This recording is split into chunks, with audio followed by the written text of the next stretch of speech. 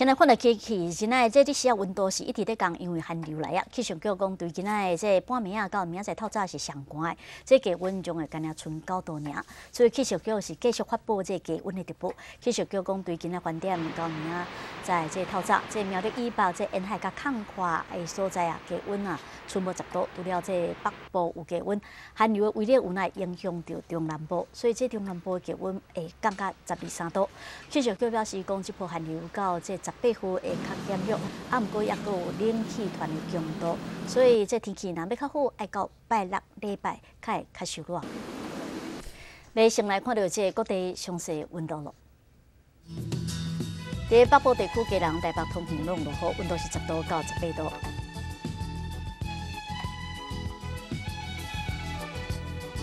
在中部地区，这明日有落雨，温度是十二度到二十三度。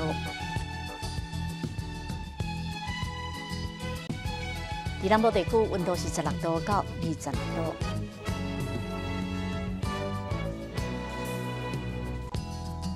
南部地区有落雨，温度是十二度到二十四度。